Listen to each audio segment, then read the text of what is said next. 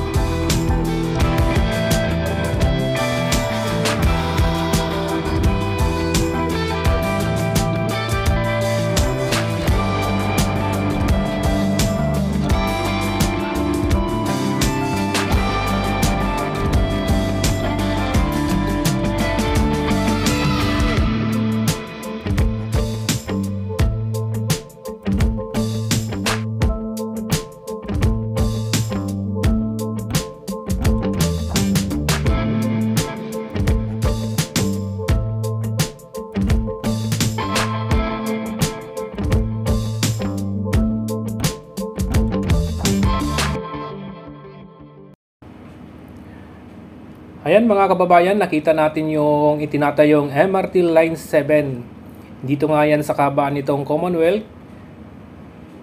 Pero siyempre kabayan, kung kayo bago lang sa ating YouTube channel, huwag niyo pong kalimutang mag-subscribe, i-hit ang bell notification para lagi tayong updated sa mga bagong video natin, at i-like na rin ang video na to for YouTube recommendation.